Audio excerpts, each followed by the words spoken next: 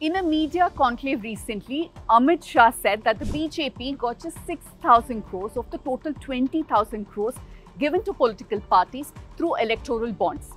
There's a small problem with this statement. It's a lie. Amit Shah's numbers are completely wrong.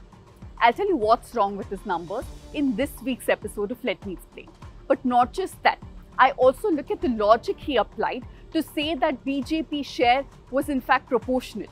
He went on to add that the India bloc, in proportion to the number of seats they have in parliament, got a lot more than the BJP.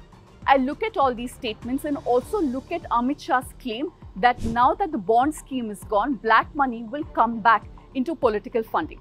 Catch the latest episode on this Friday and also become a paid TNM subscriber.